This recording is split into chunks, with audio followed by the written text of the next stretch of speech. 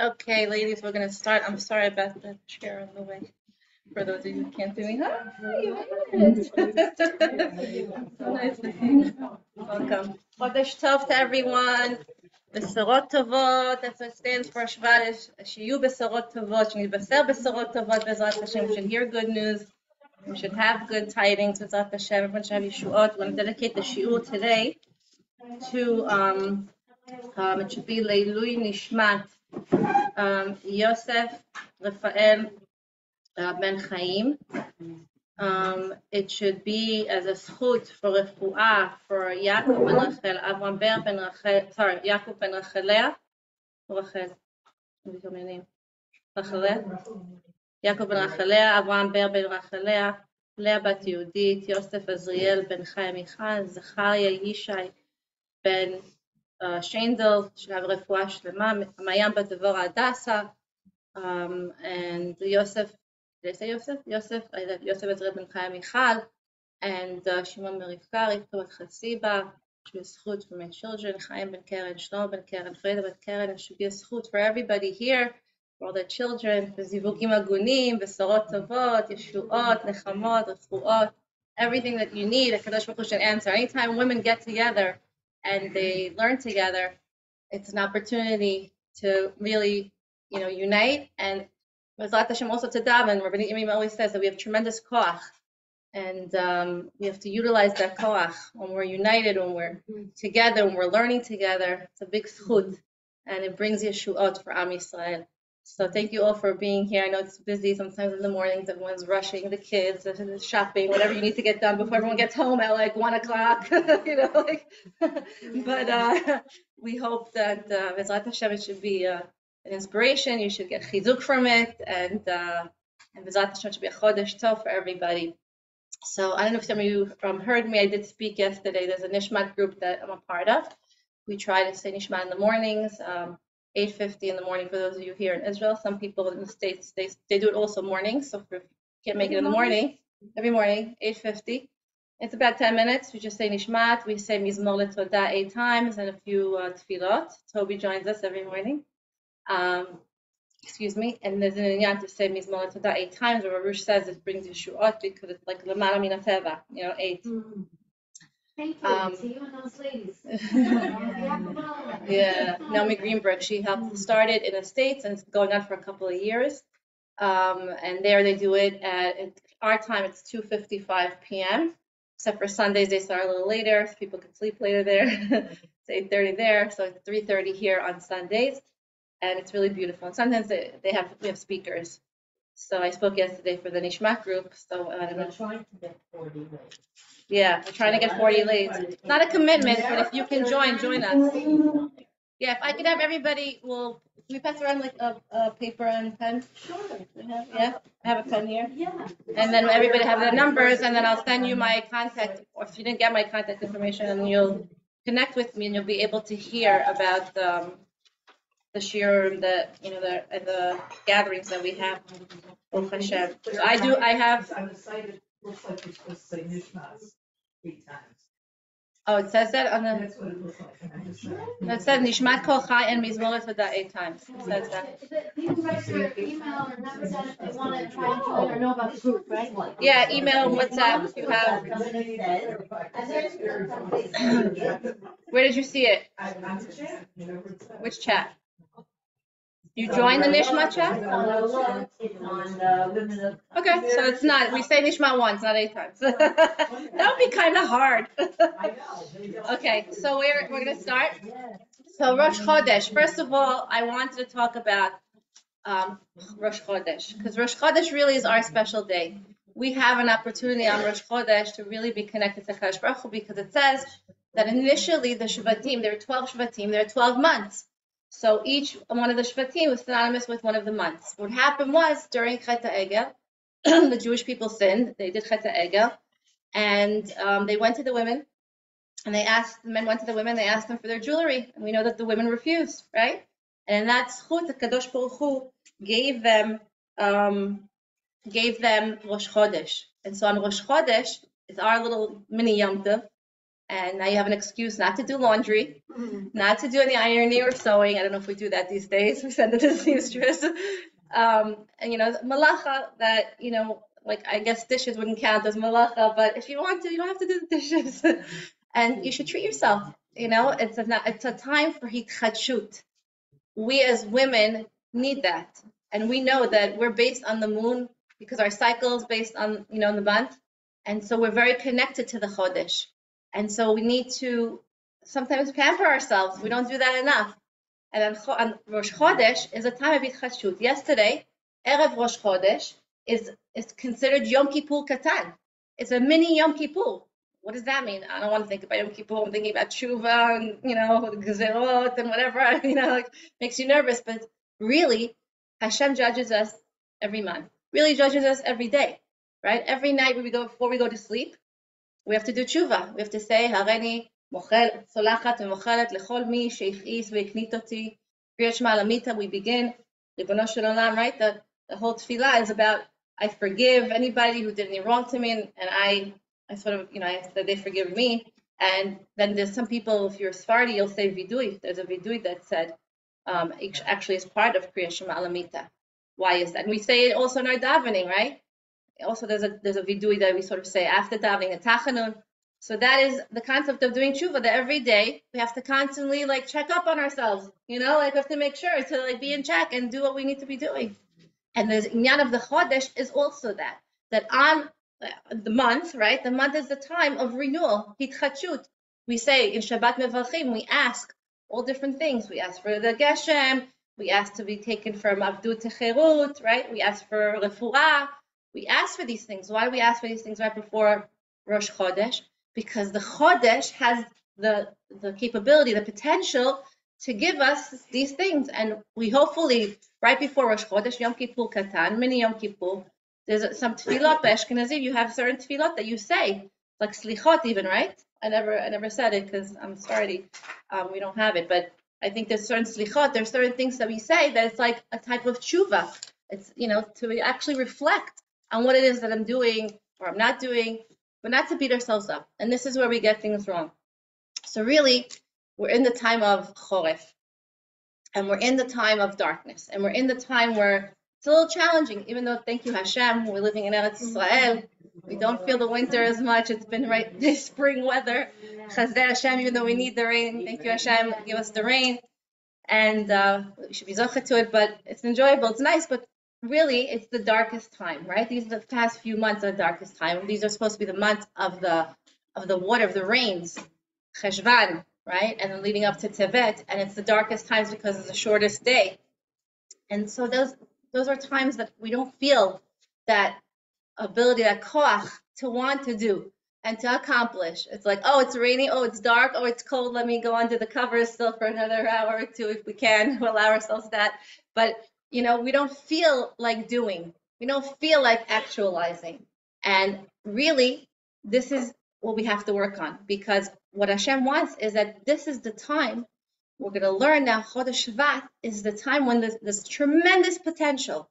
Okay, we actually went through the dark months. Tevet happens to be the month ruled by Esav. We know that the Poranut of the Churban Bet Hamikdash began on Asara B'Tevet. There are three fasts: Asara B'Tevet, Yud B'Tammuz, and Tisha B'Av. They're all connected. The Puranut started on Asara B'Tevet, and we're told that if Tevet, if Asara B'Tevet would fall out on Shabbat, right, it wouldn't be postponed. It doesn't, right? We would I would have to fast. We can't fast on Shabbat, but I'm saying it doesn't come out. But the reason it tells it to us is because it's it's a really tr- it's like the time of Puranut, the time of you know the most you know challenging time because it began this concept of what we say that the Churban. It's really the beginning of the the downfall. It's the breakdown, the beginning of the breakdown. Like we have some when we want to build, right? We have a foundation and we build upon the foundation. So every break, breakdown also starts with something. There's also a system to a breakdown, but it actually comes right after Hanukkah. Eight days after Hanukkah, Zot Hanukkah, eight days after Zot Hanukkah, which is the peak of Hanukkah, is Asara B'Tevet. And why is that? Because we, we're gaining the light, the orot, the kochot, the, the neshama, right? The connection. Really, every person, we're not talking about Tevet, but I'm just mentioning it because it's really, it's important to realize this. is that every person is a mikdash me'at. And when we're talking about, uh, you know, building, we're not just talking about building the Beit HaMikdash. We're talking about building ourselves. It's a time of itchachut, right? A month is the time to be able to rebuild ourselves and to be able to be more connected. And we are, it says, Hashem wants to rest amongst them. It doesn't say v'shachanti betocho. He wants to rest upon us. The Shechina wants to rest in us. We're a mini, a miniature Beit HaMikdash, miniature Mishkan, so to speak. And we have to be working. One of the things I spoke about in Tevet, if you'd like to go back to my uh, group, I can send you, I have a, a YouTube channel. And I spoke about this, that there's three-step process of working on our inner ratzon, our machshavot, which is connected to our inner ratzon, on our um, on our emotions, connected to the heart, and our midot and our actions. And as we build each one of those, we're able to actually stop the churban from happening. This is the koach that we have. So that was Tevet, and it was really it's ruled by Esav. There's dark times, difficult times in the Choref. Choref milashon cherpa. Cherpa is like busha, and really busha is not a bad thing. Even the word shuva has the word shuv. If you take the word shuv and you spell it backwards, it's bush. In order to do tshuva, you have to feel a certain busha, right? A certain shame, right? You have to have regret that I did something wrong, but not guilt. We often confuse this with the Jewish guilt, you know? I should have done that. Why didn't I do that? How could I have done that? And I beat myself up. I'm good for nothing. I'm a this. How could I do it? Again, I failed. Again, I did it. And we constantly in the self criticism in our heads. We all do it to ourselves. Think about it every day. Just make a checklist. Just try. Every time it happens, you'll see how often we do the negative as opposed to thinking the positive. We just, uh, it's like our body just goes there, our mind just goes there. it just goes to the negativity. It's like gravitating towards that. That's the Yetzer Hara. And we have to work on the positive. We have to work on really loving ourselves. Hashem says, no guilt. Shuva. Gives us the opportunity to rectify, to be metaken. That's the koach of every chodesh. Renewal. Because I'm a new person. I'm as if I'm reborn, so to speak. I'm being reborn. Hashem's giving me new opportunities. He's giving me the koach to be able to accomplish, to do. And this is what this month is about. We just came from the difficult month, and now Hashem's saying, ah, here, now it's the Chodesh of Shvat. So what's Shvat? We know Tu B'Shvat Yigia Chag La'ilanot, right? The time for the trees, the Rosh Hashanah for the trees, and we know that the trees are blossoming. Right? Now the almond tree is the first one to blossom. That's why they sing that. I always wonder, like, why they sing about the Shkedia? I never saw a Shkedia tree. Like, you know, I see other fruit trees. And the reason is because the Shaked, the, the almond tree, blossoms uh, first. It's the first one to blossom. There's one in the Lachish? He has one that actually, Wow. he had to build around it, really, there was my son. Wow. Wow. So really shame is the first of like our primary emotion because we know from the time of Adam Arishon, from the Chet Adam Arishon, is um is you know when they when they first sin. After they sin, it says that they were they bosheshu and they were embarrassed, right? And then all of a sudden, like they were like he was hiding, Hashem had to say, Where are you? Ayeka, you know? Before the sin, they were also they weren't dressed, they were alumim, and there was no busha. What happened? It says that the Yetzer Hara came inside of them, so to speak, right? Before it was not part of them. Once they partook from the Etz HaDaat, it now they were embarrassed of what they did. And so this busha, this um this concept of having uh, embarrassment is is not necessarily a good thing, but it is a good thing. It's not supposed to be a guilt that we're supposed to be feeling, but in order to do tshuva, we have to feel that we did something wrong, and it's a, it's humbling oneself. It's really humbling oneself, and we need to have this in order to do tshuva. Like I said, bosh and shuv to return. That we want to return to Hashem, we have to feel that Hashem, I did something wrong, but not to the point that we're beating ourselves up but really to be able to to build ourselves, to start anew, and to say to Hashem, I want to be metaken, I want to fix, and to do the the steps of tshuva is regret, azivat achet, stopping to do that avera, making precautions, maybe not to do it, right? Sometimes we have to, you know, help ourselves, and and then to ask Hashem vidui, you know, to confess to what we did wrong. And so this this is um, something that we you know, we actually attained from the time of the Chet Adam Rishon. So it's talking about, it's talking about Tu B'Shvat. If you look at the trees, they're not blossoming right now. Like you go outside and the trees are not, you don't see fruits on the trees. It looks like they're dead.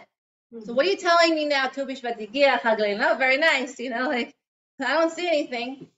What's going on? It's fall, if it's winter. And you know, I don't I don't see that there's no there's nothing happening. Really, what are we told? I just spoke about you. Just spoke about Mashiach. Your husband let me. know.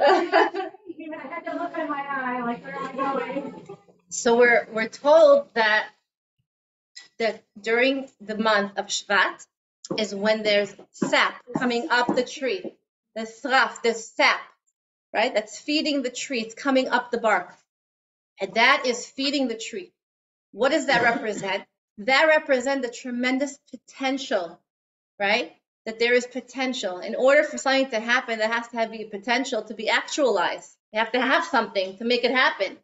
And that is the potential in the tree is coming up. We don't see it. It's coming up from under the ground. It's dark, right? Outside. Ain't nothing blossoming, right? It's cold, especially not here, but you know, in other places. Uh, Chutzar, it doesn't feel like there's anything, there's any growth. But in order for the growth to happen, there has to be something that's making it happen. There has to be potential. And this is the koach of this month, that we see tremendous potential. In a few months, we're going to see the blossoms and the fruits. And where that happened, all of a sudden, it's like magic. So really, it's Hashem in nature. We know that the Teva is really the Shem Elohim. It's the same gematria. That in Teva, within Teva, we, we see Hashem. But we have to notice it and we have to realize it. And this is what these parshiot, we're in the parshiot now, the times of Shovavim, which relates to Shemot, Va'era Bo Beshalach, right? Um, Ito, this is the time, and Mishpatim, right? The last one's Mishpatim. And so this is the time we're supposed to be working on ourselves. We're supposed to be rectifying. There's certain, you know, certain aspects, certain midot, um, and it's a time for us to really reflect upon our connection to Hakadosh Baruch Hu. And why this time? What are these parshiyot? These parshiyot talk about Mitzrayim, the tsar of Bnei Israel, the galut of Bnei Israel, the difficulty and the challenges that they went through. And here, last week's parasha, Hashem tells Moshe Rabbeinu, right? Ata yadati. Now you'll know. Ata yadati. I think that's pasuk. Ata yadati. I remember the pasuk exactly. But now you'll know that what ani Hashem. Now it's going to be known to you. And he says it's named Yudke Vavke. Whereas the Avot were known with Kel Shakai, before the Avot were known, how could now? The Avot already knew Hashem. What do you mean now? Why now? Why are you telling me now you're going to be known? Hashem wasn't known before. Each one of the Avot had a kesher, relationship with Hashem. We daven in the sput of Avram, Yitzchak, and Yaakov. Why now? Because now was Bnei Israel going into Galut. And now Hashem is going to reveal himself openly within the, you know, within the nature of things. The Makot, the Eser Makot happened, right? It was a revelation of Hashem's glory in this world. It was showing everybody how Hashem is ruling nature. That it's not Teva, that it's not, you know, it's a complete Ashgacha of Hashem in for here, for, for who? For the sake of who? Why is Hashem doing this? In order to take Israel out of Mitzrayim, in order to get them to where? To Har Sinai, in order to make them his nation, right? In order to make them his Am Segula. He wanted to give them the Torah. And Hashem, if it wouldn't take us out of the Mitzrayim and out of the 49th level of Tumah, we wouldn't have even come out of there. So it was very clear that Hashem was doing this for who? For Klal Yisrael. So here, Hashem was making himself known for the sake of Am Yisrael. There's a certain hashgacha that's hashgacha pratit, and a certain hashgacha that's hashgacha klalit, right? And here Hashem was doing this private hashgacha for Klal Yisrael. This was showing His love for Am Yisrael, and that's where Hashem Yudke Vavke is Hashem Rachamim. Hashem was showing His midas Rachamim, even though it didn't look like Rachamim, it looked like Din, right? It was happening, but we know that everything was happening was for the sake of Hashem. How does that relate to us? What we're talking about? That we also we're in Galut. We're in Mitzrayim. We're in the Tsar. We're in the narrow place. And we don't always see Hashem. And it's very difficult, especially in Galut, with all the tzarot of Am Yisrael. We should, you know, we need refuot, we need yeshuot, shiduchim. We can list the problems, right? Everybody is in some sort of tsar. So we see that we really need We need Hashem, and we need to see Hashem, and we need to have that hope. We're in Galut. How do we get from Galut to Geulah? There's an Aleph that's a difference. Galut is also Gola. If you look at Gola, the word Gola and Geulah, the only difference between them is the Aleph. What's the Aleph? Aleph, Alufo shel Olam. Right? Hashem is Kol Yachod, and Od Milvado. He is the only one that's going to take us out. But you know what Aleph also is? The Aleph of Emunah. And who is the Emunah, the, those who have faith? Who are the ones, the Shoresh of Emunah? The M, the Imahot, we, the mothers, are the, the place where people can turn to for Emunah. We're holding on to Emunah no matter what's happening. We'll daven, we'll say the Tehillim, we'll say the Nishmat, whatever you tell me, I'll do. Give it to me, I'll do it. For the sake of my kids, for the sake of Am Yisrael. We hold on to the Emunah. And what did Bnei Israel teach us? In order for us to be able to get out of the Mitzrayim, what did they have to do? Vayizaku el Hashem, right? Screamed out to Hashem and all these lashonot. Rav Shimshon Pincus tells us that there are 10 lashonot, 10, I think it's 10 sharim, 10 lashonot, sharim that are open with tefillah, the words of tefillah. We have vayater, where it talks about Yitzchak and Rivka. We talk um, right? Ze'aka, se'aka. And a lot of those lashonot are found in these parashiot about Mitzrayim. And when Bnei Israel cried out, that's when they received. So that's our emunah, emunah holding on that Hashem is taking us out. And where do we see that? זכות נשים צדקניות נגאלו במצרים, ובזכותם ניגאל. And the merit of the women, they merited the Geulah, right? Why? Because they had hope. And we see it already from the beginning of Parashat Shemot. We're introduced to two women. We're called, they're called Ha'ivriot, the ones, the Hebrew ones, interestingly enough. And they were the Meyaldot, they were the ones who helped to give birth to the children. But and they made them live because we know what happened. They were commanded to make the firstborns had to die. Pharaoh made a decree. All the firstborns had to die, right? And what happened? They went and they saved the children. Pua, the names itself represent what they did. They pacified, she pacified the child, right? Pua and um, Shifra, Meshaperet et to improve, right? To make him feel better and they were giving life, sustenance, because they saw that this is the legacy of Am Yisrael, and that we're not going to let them die. And they were the Ivriot. Why Ivriot? Who was called the Ivri? The one Mi'ever? Avraham Avinu. He was on one side. He believed in one Hashem in the whole world, to Avodah Zarah and everything else. And he had Emunah Hashem. And they were Ivriot also. They were the ones that held on to the Emunah. And we know later on also the women the copper mirrors they brought to the Mishkan, right? And that was given to, to make to the Kiyol, the Kiyol to wash the hands, the feet of the of the Kohanim. Women, they understood what it means, the, the continuation of Am Yisrael. We too have to hold on to that. And we have to believe that even as dark as it looks in the, in the midst of the winter, there's potential happening right now. Hashem's making things happen. He's putting me in a Meitzal. For what? For my growth, like a tree. It's for the ability to grow. And we see we're like a tree. It says, Ki Adam et Man is like the, the tree of the field. How is he like the tree of the field? There's roots. The tree has roots, right? Planted in the ground. It has a, a bark. It has a strong uh, tr- trunk, right, to hold him to hold him down. It has the branches reaching out, and then from there are the fruits and the leaves that come out, right? So we know the fruits and the leaves. I actually have to read this because I read such a beautiful um, explanation about this and how it relates to us. Um, yesterday I was reading something on in Chabad that really we we have this ability to to be able to have the trunk, the branches, the leaves, all these things relate to us.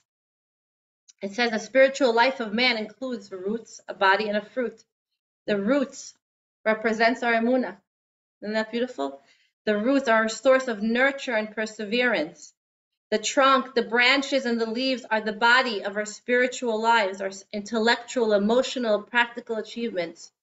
And the fruit, the fruit is our power of spiritual procreation, right? The power to influence others, to plant a seed in a fellow man, in a human being, and see it sprout, not only your own children, right? But you can give over Torah to someone and you're you're helping them to grow you're helping them to be inspired The roots are the least glamorous of the tree's parts and the most crucial, buried under the ground, virtually invisible. They possess neither the majesty of the tree's body nor the colorfulness of its leaves, nor the tastiness of its fruit.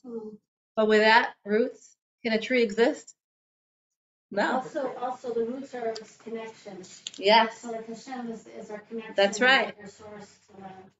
That's right. And the roots must keep the pace with the body. If the trunk and the leaves of a tree grow and spread without a proportional increase in its roots, the tree will collapse under its own weight.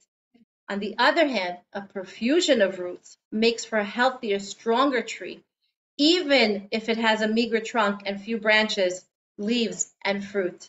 And if the roots are sound, what's going to happen? They're going to rejuvenate the tree, right? And and um, rejuvenate itself. And if the body is damaged or its branches are cut off, and so what's that? That's our emuna. He says our emuna is the least glamorous of our spiritual faculties, characterized by simple conviction and commitment to one source. It lacks the sophistication of the intellect, the vivid color of the emotions, and the sense of satisfaction that comes from deed. And faith, where is it buried? Under the ground. Okay, its true extent is concealed from others, and even sometimes from ourselves. We say, "Lagid baboker chasdecha ve'emunatcha baleilot." Why? Why do we say emunah baleilot? Baboker chasdecha. It's easy to see the chesed of Hashem. It's so beautiful. It's so bright outside. Thank you, Hashem, for all the good things you give me. When I have clarity, when I see it clearly. But at night, it's so hard to see it. What's night synonymous with? Chaos, darkness, cold, right? Galut. When things are tzav, when things are narrow, right? Mina metzal karatika. From the narrow place I call out to you, Hashem. Aneni bamerchavka. Answer me in a place of openness, of open space. And so at night, I have to have emunah. I have to believe. I have to understand that it's not happening. It doesn't look like it's happening, but it really is. The sap is coming up that tree. The potential is there. And what do we need to do? We need to actualize on that potential. We need to do something about it. So if you don't feel like doing, do it anyway. Get up in the morning, do something. You know, it says you put on a smile, it sends certain hormones to your body that even if you don't, you're faking smiling, it still sends those hormones. So even if you don't feel like it, fake it till you make it. Just smile anyway. Even when your kid is getting you upset and doing it again, tantruming, and you want him out the door, just smile. I tell the ladies, um, one of the things that we spoke about in our tefillah class, I give a tefillah series in Amidah, and I learned something beautiful. Just having this awareness before you daven, we have to have an awareness, a recognition that Hashem is here. Literally, Hashem is here. Like, why am I davening otherwise, right? Who am I mm-hmm. davening to? So we know that in the Shulchan Kitzur Shulchan Aruch, he starts off, he says, you have to understand that Shiviti Hashem Tamid. And what's Shiviti? Not only that Hashem is here, but I place Hashem here in front of me. Tamid, always. I have to believe that Hashem is in front of me. And so when things are not going so great, if you meditate upon this just in the morning, just five, ten minutes, start off with five, ten minutes of just saying, Shiviti Hashem Tamid. Shiviti Hashem Tamid. I know you're here, Hashem. So when the difficult times come, say that to yourself again. It's going to be part of your subconscious. So I heard the Yafa Devora singer. There she is. Mm-hmm. She, so she spoke about this, how she learned this, and she was at the time she had a bunch of little kids and they're driving her crazy. And she tried to get them to sleep. You know those times when you try to get your kids to sleep, it's like the never-ending story. like, no matter what age they were, you know, always like, Shem, just help me get these kids to sleep. Finally, I gave up. I knew it was just like you want them to sleep at a certain time, and they're just gonna go to sleep at whatever time they want, especially when they're all in one room, right? They have little kids. anyway, so um, so she said one kid was was she was saying to her, go, "Let's go to bed, let's go to bed, let's go to bed." She was little, and then all of a sudden, and she's just like she was about to lose it. So she spoke to someone about this. She said, "Why can't you bring Hashem into those times when you're having challenge?" Like you do Shiviti, you meditate on it. So bring him, bring it into when you're having the challenging time. So the child was like, no, I'm not gonna, no, we're ignoring her, whatever. And all of a sudden she was about to lose. She goes, Shiviti, you know, and she put herself into that consciousness. Instead of losing it, she caught herself. And her child just looked at her. And then she walked to her room. She said it was mind boggling. She couldn't believe it. Like, it actually worked. What are you talking about? You know? And, and she said that's what it means. That when you're focusing on that, when you're holding on to that emunah, that in the most difficult times, right? Right? Emunat chabalelot. We say it in the Shema. Right after uh, Birkos Kriya Shema at night, we say emet ve'emunah. We don't say that during the day because at night is when you have to hold on to the emunah, in the galut, in the tzal, in the pain, in the difficulty, in the challenge. I wanted to share with you um, a beautiful thing. So we're told that the year is divided up into trimesters, similar to what? Pregnancy. So the first part of the year, first four months, starting from Rosh Hashanah, really starts from Sukkot, like 15th of Tishrei. If we count four months, is what? Now, Tu B'Shvat. We have 15th of Shvat. That's the first trimester. The second trimester is from Tu B'Shvat, four months later. When does that fall out? I'm not going to write that. Maybe Sivan? Let me write it down.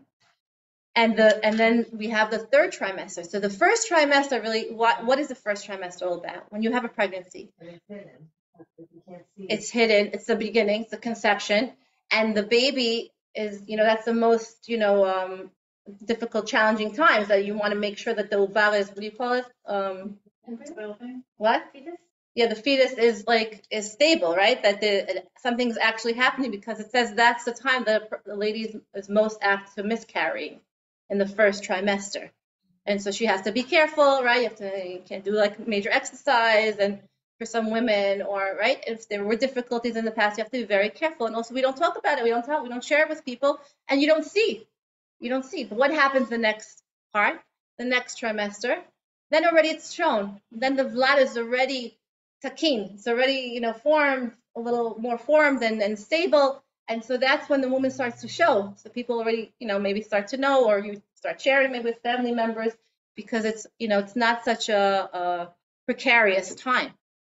So we're told that the first half of the year, right, is from Rosh Hashanah. Rosh Hashanah is when the Gzar Din, when we promised Hashem what we're going to do and how we're going to actually, you know, be better, right? And we had now four months, Baruch Hashem, hopefully we've worked on that. We've already tried to show Hashem that we're, you know, we're working on those specific midot or specific things that we said that we wanted to do. And on Tu B'Shvat, excuse me, on Tu B'Shvat, we want to show Hashem that we're actualizing it, right? And it starts the next part of the uh, of the year, so that we have now the ability to show Kadosh Baruch Hu that we're actually the partial actualization that we want to do it. That's the next four months. And the third part is the full actualization, right? Based on what? The beginning, on the seeds that we already planted. So this is what the, how the year is divided up. And we know that we're told this is one of the Rosh Hashanahs. There are four Rosh Hashanahs that are mentioned about uh, a person, about different things. One of them is the Ilanot, one of them is us. But really, we said Ki Adam Hasadeh. So we're similar to the tree, and we're also, in a sense, being judged. And what are we being judged on? On our choices that we make, on the things that we're doing, on the things that we're actualizing. And we what the beginning now during Tu what are we doing? We eat fruit, we make brachot, we're having gratitude that we went through the first trimester, and thank you Hashem, we got to here. So we have we thank Hashem, we have now the fruit, we have now the fruits showing coming out. And we want to thank Hashem for them. We're supposed to partake of fruit on Tu B'Shvat and eat them and enjoy them. There's different there's meanings to different kinds of fruit, with the peel, without the peel, with the pit, right? Some you eat the peel, some you don't.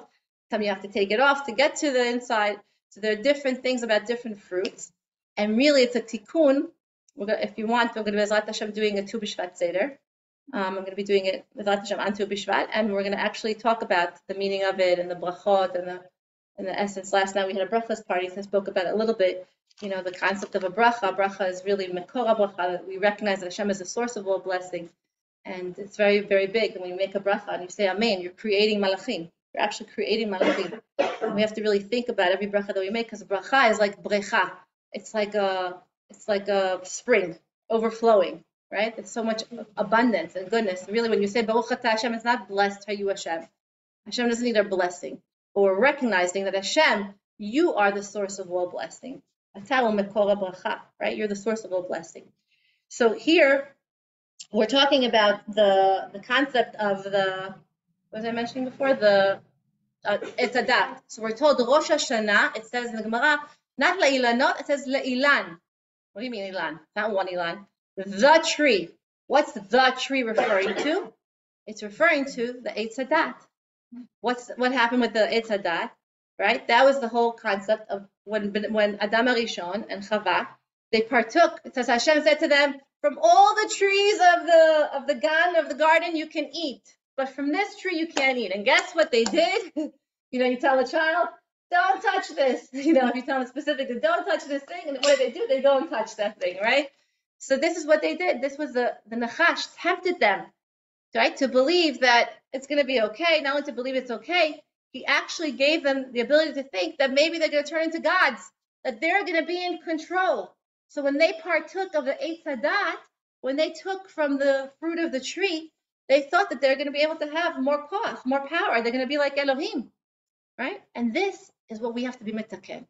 So this month has the faculty. Every month has a different midah, different faculty that relates to relates to achila. That we this month have to fix our ability to eat properly, and it doesn't only relate to eating. We're going to talk about in a minute. But in order for what? In order to be metaken, Chag La'ilan, Rosh Hashanah, excuse me, La'ilan. Which Ilan? The Ilan, the Etz from the Garden of Eden. Etz HaDaat. And we know we do this. As women, we bake challah, right? One of the one of the Mefarshim say that the Etz was the Etz of Chita. So when we bake challah, what are we doing? We're bringing more sustenance, life to our children. We're giving them from the, the kemach, which comes from the chita, which comes from the tree, right? And instead of like Chava did, she she gave him death because as a result of the sin, the, the curse was that they should die, right? They shouldn't live forever. Because Adam had the potential of Adam stands for Adam, David, Mashiach. There was potential there for him to be the Mashiach. He could have lived forever if he wouldn't have sinned. That's why it says that Adam gave also 70 years of his life to David HaMelech. Um, because David HaMelech was supposed to die like after I think a few hours, right? So um, he said that Adam gave him like 70 years of his life. That's why Adam died at 930 instead of uh, 1,000 years. So in any case, so going back to what we are saying, so she brought, so to speak, death. So now she has to be metaken, that she is being metaken by bringing chala. Who is chala? Chala is like Adam. Chalato shel olam. Adam is like the chala of the world. That he you know, we are supposed to have sustenance from this tree. We're supposed to be able to have, you know, goodness and life. And instead now, so she has to be metakin. So what do you do? You make challah, there's a big inyan to daven. Every single one of the ingredients, I don't know if you know, represents something. Mayim is representative of Torah, right? We didn't speak about that, but that's also related to this month. But we, the, the sign of the month is Dli. Sign of the month of Shvat is Dli. Aquarius. We'll talk about in a minute. So Mayim is supposed to be Torah. So Hashem, help my children. They should be able to grow in Torah. My husband, they should be able to learn Torah. They should always go in the ways of Hashem. And then we have the kemach, it's a flour, it's a sustenance, give us parnasah and sustenance. And the oil is synonymous with like mishichut of anointing, anointing the king, anointing the uh, right the Nevi'im and Mashiach. We want Mashiach that he should be anointed. So in every one of the, thank you for coming in every one of the of the ingredients, there's tremendous kochot that we're being metaken. And so when our children are eating and our guests and our husband are eating from this bread, it's not, it's not just bread. It's food that we've elevated to a different level. And that's what we have the koach to do. This month, we have that ability to be metaken, the, the power of eating. The ot that relates to this month is the ot tzaddik. And it says that tzaddik eats le'ochel nafsho.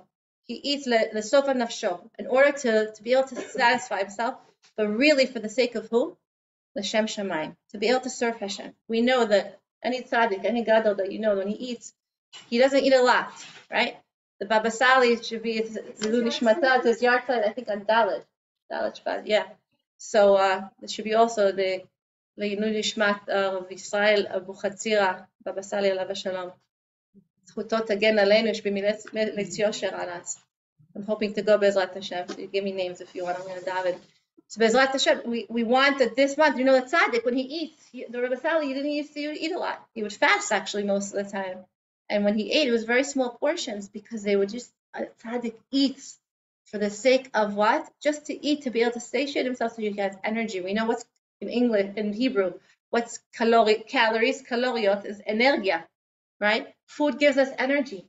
And the reason we eat is to, yes, to have energy. We also need to have pleasure. We have to have pleasure. We're not going to just uh, eat things that are just healthy. We also have a piece of cake, right? We'll enjoy, you know, a nice ice cream or whatever. So really, we eat also for pleasure. And it really, it says, after 120, Hashem is going to ask us, you know, did you partake from the things that I gave you? Did you have pleasure? Right? And we're going to say, no, I didn't want to gain weight. I was watching my calories, you know. So we have to be really careful in terms of what it is that we're eating. Yes, of course we can, we can have cake, but we don't have to have seven pieces of cake, you know. you know, I'll just take a little more and take a little more, you know, the slivers. so this is the month to be mitaken that not only how much we eat, how we eat, and how we make a bracha before we eat, right? And really the choices that we make of what we're eating and why we're eating that thing. And if we don't eat that thing, how does it make us feel? That's also important. And so it relates not only to achila, it relates to other choices that we make. For example, certain woman goes to the store and or she wants she goes online, she wants to order this dress. And she sees, you know, this this store has this dress and she's gonna go, it has it in her size, and she's, I'm going to get this dress. She goes to the store, they don't have her size. Are you sure? Can you check in the back? And they're like, no, I'm sorry, we don't have your size. So how does she react to that? What? Are you kidding me? You don't have my size? I saw it online. Can you check again? And she's like freaking out because she doesn't have her dress. Right? And sometimes we do this. We lose something. And then we feel like, where is it? Where is it? I can't find it. I have to find it. What is that? A little bit that's the control aspect. That's not throwing it up to Hashem. So we're told the whole concept of the choice of tov vera. That was what we're what happened with Adam and Chava. They were choosing, right? And that all of a sudden that came inside of them. The Yetzer the Nachash, right? Now became a part of who they were. The Yetzer within us, that decision making of should I, shouldn't I, you know, is that okay, is not? So the tikkun of this month is how do you feel if you don't have something? How do you react? Do you recognize that it's from Hashem? Maybe Hashem doesn't want you to have it right now. Maybe it's not good for you right now. Maybe that's not what you need right now. And oftentimes we think, but I need it. it's like, I need it. you know, mm-hmm. do you need it or do you want it? And so we have to make the right choices in how we eat and how, you know, we when we want something, possessions, things that we have, and when we don't have what we want, to recognize and to believe it's really emunah, to understand that I don't need to have that thing right now. I once think I learned that um, when we eat in an unrectified way, it affects three things. It affects our anger, our speech, and our sexuality. Yeah, it all connects. So I heard also that the, the step, the process to all this is what are we really trying to achieve in all this and in eating and making these right kind of choices in the right, in a healthy way is, you know, it's not like the be all and end all that everything's going to be lost if I don't have it. It depends how you react to something. And what is that? Recognizing that there's a divine plan. That if you have it or you don't have it, if you lose it, that you're really leaving it up to Hashem, that it's okay. It's okay. That's a tikkun. And that's tzaddik. A tzaddik, everything that he has. You see the Yaakov Avinu, pachim ktanim, right? He went back for pachim ktanim. Because everything for a tzaddik has significance to be able to what? To serve Hashem better. And that's what we have to realize during this month is that everything that Hashem gives us is in order for us to be able to elevate it and to bring it to a higher consciousness. What's that consciousness? To be able to connect it to Hashem. Is this thing going to help me to serve Hashem better? Am I going to feel better, right? To be able to feel good, to be able to serve Hashem in the proper way, to be a proper mother. And sometimes even abstaining is also not good. We think we abstain is intermittent fasting. I'm not saying anything, you know, good or bad, but like I can't eat now. This is not my time to eat. I have to eat only these times, you know? Is that really what Hashem wants from us? You know what I'm saying? We have to ask ourselves that. It's like, no, I can't touch it. Now is not eating time. You know, like I don't know. Maybe for some people, yes. Maybe for some people, it's an obsession. You know, eating can become an obsession, right? And people actually have to, you know, they have to work on it. But we have to really know that what are we doing? Is it elevating us? Is it taking us to a higher level? And this is the koach of this month, to be able to work on our achila, to be able to be like the tzaddik, to be able to serve Hashem, to do whatever we need to be able to bring us to a higher consciousness, to be able to use that actualization of that potential, right? The potential we had now from Rosh Hashanah, from Tu on, now we have to actualize. It's a partial actualization. And the end is a full actualization until we get to the next Rosh Hashanah. But now it's also starting. But what do we have to do now? Now we have to be in gratitude. Now we have to recognize all the brachas and the shefa that Hashem does for us, right? And it's easier now. This month you're going to feel a little more energized. It's sunny, it's nicer weather, and and Hashem is going to give us those kohot exist. Every month has kohot in it, and we have to tap into those kohot. And how do we do that? Like I mentioned before, trying to work on our muna, davening, crying out to Hashem but not from a place of desperation in a sense like, uh, you know, like if you don't give this to me, I'm gonna die. You know, like I can't, I can't live like this. Maybe sometimes we need that, but really from a place of gratitude. Because what is gratitude really? We say Mizmola to that Rabbi Arush says, there's a book, I'll tell you what happened. I, I started Thank You Hashem group. I have over 200 women on a Thank You Hashem chat. And uh, they basically write Thank You Hashem for whatever happened that day. Sometimes it's not such great things. I actually had a lady once wrote, Thank you Hashem for uh, my miscarriage uh, when I had my eighth child. I see now two years later how Hashem was for, for the best. And Baruch Hashem, you've blessed me since then. And and I see how whatever I went through then was for a good reason. I was like looking at this, I was like, whoa.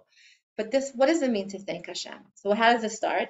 I started when I I was living um, in Canada at the time, and I was going through my stuff. You know, everybody has their stuff, and um, basically I, I went to um, my parents had like a shul and there was like sfarim the Rav on the floor it was the time my father was in the hospital unfortunately um, so I had to be in the hospital it was Sukkot time and so when we went to shul I saw this book it said say thank you and see miracles in Hebrew it's called Amarti Todah V'Noshati.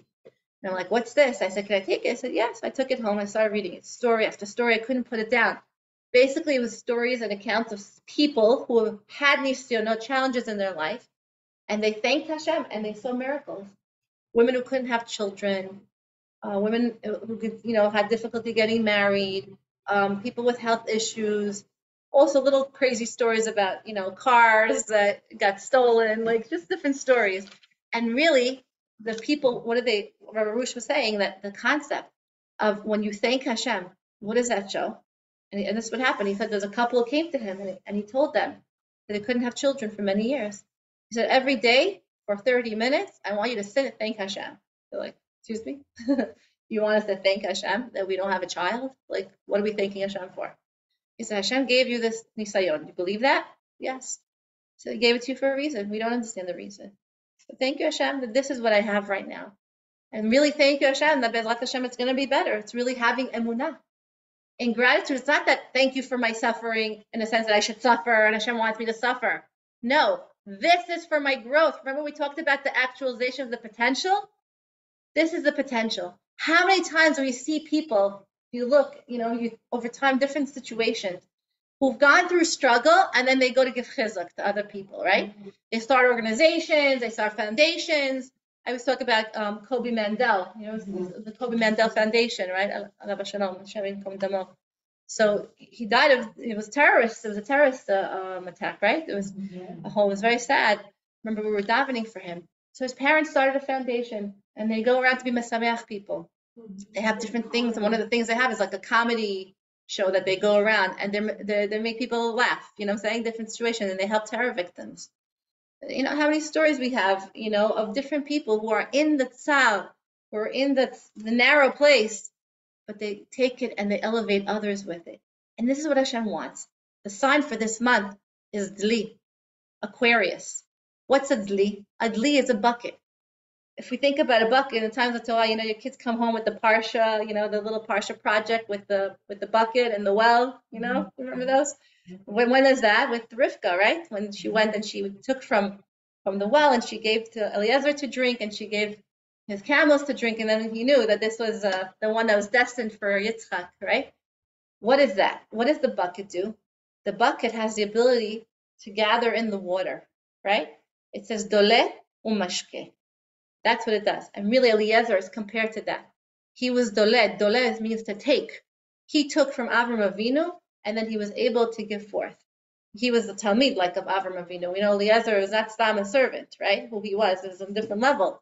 So we're we're also we're dole umashke. What are we taking? What's water? Water is Torah. How are we going to metaken all the things we're talking about, the achila, the choices that we make, and all that? We need to bring Torah into our life. We need to connect to Torah. If we have Torah, then we can be mm-hmm. mashke. And we have to have a vessel. We have to have the dli. The dli holds the water, right? We too have to become a vessel to hold the abundance that Hashem is sending down to us. When we daven, we make ourselves a kli. We make ourselves, so to speak, a vessel. And we're asking from Hashem. And then we receive it, and then we give it to others. Whenever you learn something, I just heard this beautiful concept Rabbi Nachman says that when you learn something, you're becoming a kli kibul, right? You're you're receiving, you're learning something. Take that and inspire others and give it to somebody else. Tell it to someone, right? Give it over your children, your husband, your family, your guests. Why? Because then you emptied the kli, so Hashem can give you more. So when you have something, you say, Thank you, Hashem. Give me more. Because I want to give to others. I want to do with something with this. It's not just for my own selfish needs. We're dole umashke. We have to work on that. Through the Torah, we're able to do that. The Torah is a makor chaim. It's the source of life. And we see that, right? We see that everything in our life revolves around Torah, Baruch Hashem. We're Shomer Torah, Torah mitzvahs. You know, that's what we're called. The Jews call the Shom, you know, they call it Charedim and Mesotim and the Tilumi and all that, but it's not.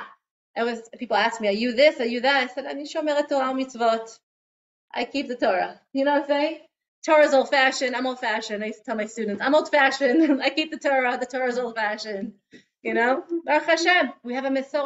We have to be proud of it, and not start with all the nuances and the new things, and be like, "Oh, it's too, it's modern. It's not modern. It's not into you know the times." No, we have to take from the Torah and learn the lessons and be able to give over to others so that Hashem can be mashke us, So I give the love mashke. To fill in the form. to fill and to be mashke to give over. And I heard something beautiful, which I didn't ever even thought about it. So look at look at the words achila and shtia. What is achila? It has achal, yud, and a hey. Shtia, shata, yud, shat, yud, hey. Right? And my husband said it's a little deep, it's very deep, so I don't have the whole explanation. But what is it? It has Shem Hashem. In our chila, in our shtia, we have to put Hashem there. That I'm eating for the sake l'shem shemayim. I'm drinking l'shem shemayim. So I should have energy. So I should be able to be a better mother and a better wife. You have to sit down, make yourself a meal. I remember Rabbi Goldwasser used to tell us, David Goldwasser Shlita lives in New York, and we were single, and we'd come to shiur, and he would say, you have to make sure when you sit down to eat, you don't just grab something and walk around and eat. Take a plate and a fork and sit down and treat yourself. And that's like funny to say that. But how many times as mothers we're cooking and eating, right? It's like I don't have time. I have to like, you know, I have to cook, I have to to speak, I have to make sure the kids are coming home, I have to make this, I have to make that. No, you're a human being. You have to sit down, treat yourself. Make yourself a nice drink, a shake, take care of your health, because that makes you a better mother, better wife, a better daughter, a better person, right? You have energy, you have kochot, you feel good about yourself. You're a mensch. And really, what are you doing? You're doing it Hashem Shemayim. You're doing it so you could be a better you, so you could be a, a better person to serve Hashem. Even sometimes you want to daven. You know, how sometimes your like mind is clouded and like you can't. Did you eat today? Wait, did I drink? I didn't drink. I forgot to drink. Make yourself a nice drink and then go daven, right? And our whole mindset changes. So this is the koach of this month, and we say Shvat Yu Tovot. It also stands for Samchem Varchem Taharem, which is nice. Hashem says, "I will make you happy. I will bless you, and I'll purify you." And so this month, let's go out, make yourself a nice shake, go buy yourself a nice outfit. Everybody Yemima says, buy yourself jewelry, shkedia. She says shkedia, it's like a, make yourself a little shkedia, make yourself a little necklace with beads or something, you know, buy yourself something, make yourself feel good, you know. And this month, try to think about ways that you can maybe rectify our choices that we make, our eating habits, and doing it, L'Shem Shamayim, having more kavanah. There's actually a beautiful tefillah. I brought it to show everybody. It's really like a Yehi Ratzon. You could make up your own Yehi Ratzon. And it's uh, right before you make something, you make food for your family. There's also a tefillah before making food on Shabbat. That really, Hashem, this food should be for my children's health, for their sustenance, my, my husband's health and sustenance. They should grow from it. They should be able to have koach. They should be able to connect with you, Hashem, before you're making the food. Why? Because what's food? Food is your ability to function in this world. It gives you koach. It gives you energy. But we don't want just physical energy. We want to have spiritual energy. We want to be connected to Hashem. So that's what it means. So when you're before you're preparing the food, you can have that in mind. That's every day. And there's a tremendous every day, all the time. And there's tremendous kochot. I'll tell you a quick story, and when this will end. I remember hearing once Rav Ben Lulu. He speaks on the Radio Alpine, and he says, uh, he said one time he went to his grandmother, and he says, Savta, how come your food is always so good? Everything you make on Shabbat is so delicious. It's so rich. And she said, Ah, B'ni, you know, she's Moroccan. She said, "Ah, I wake up in the morning, on Friday morning, early, early, and I prepare all the pots. You know, I have the chamin, and I have the fish, Moroccan fish. You can't go Shabbat without Moroccan fish. That's me. I'm like, I have to have my Moroccan fish, you know? And I have my salads, and I have whatever dishes, I have the chicken.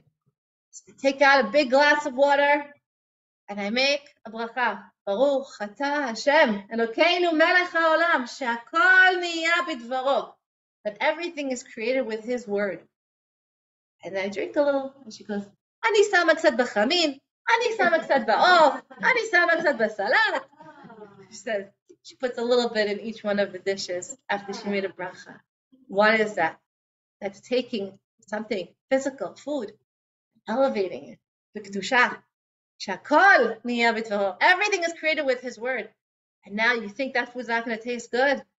It's ochel me'en olam. It's a food for, you know, me'en olam Shabbat when you taste from the food. And that's what we do also. We say Lichvot Shabbat Kodesh, when we're cooking, we're baking something. Because it's really not about me. It's really Hashem. You give me the koach. You give me the energy. I'm learning in of course, the 39 malachos. Shabbos. I didn't want to take it. I was like, learn halacha, you know, it's so hard to learn it. It's not halacha at all.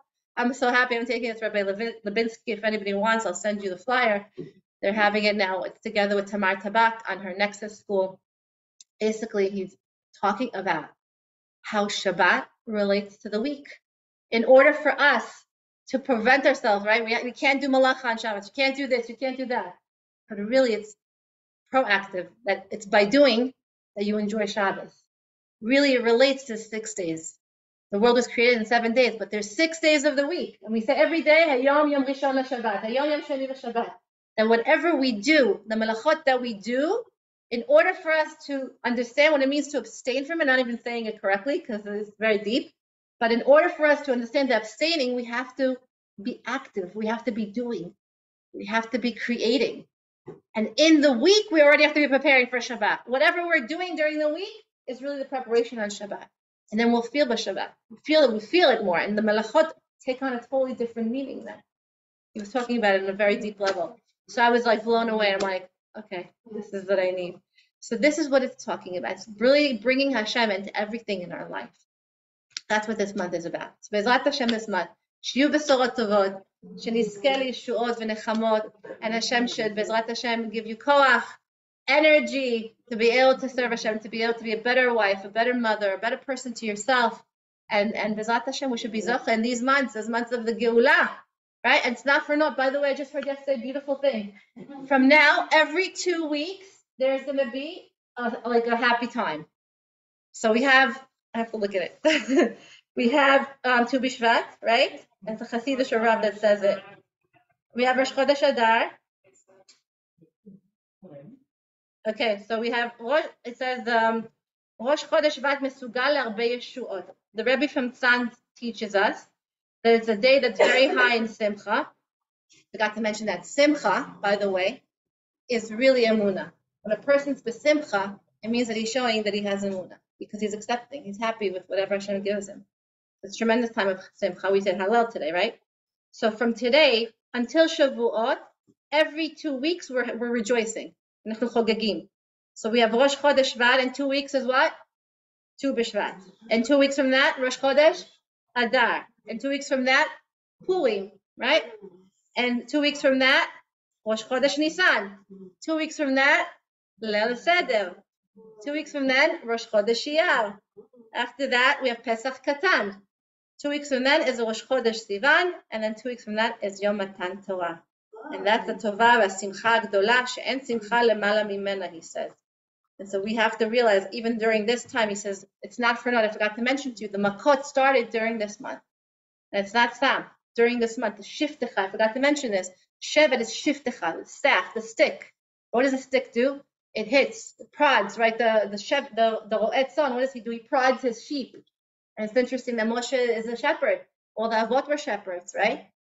It's in order for what? To get the sheep to move. Hashem sometimes has to prod us. We see what happened in Mitzrayim, the Makot, were for Bnei Israel to wake up, right? To crawl out to Hashem, so they could get out of the Galut, to get out of Mitzrayim. So he says in this Chodesh, בעיצומם של פרשיות מלאות בישועות, מכות מצרים, יציאת מצרים, קריעת ים סוף, ביזת הים, שירת הים, המן, ענני הכבוד, that were in the Midbar. How many yeshuot, how many brachot? This month we're going to be reading Shabbos Shira, we're going to be reading the Az Yashir. So one last thing, Az Yashir Moshe Bnei Israel. That's what they, when they went out, they said Az Yashir, then he sang a song. Why Az? You should say Achshav, Asharim, Asharim, we're about to sing. So Az is really then, then Latid Lavo. Then our mouth are going to be filled with rejoicing.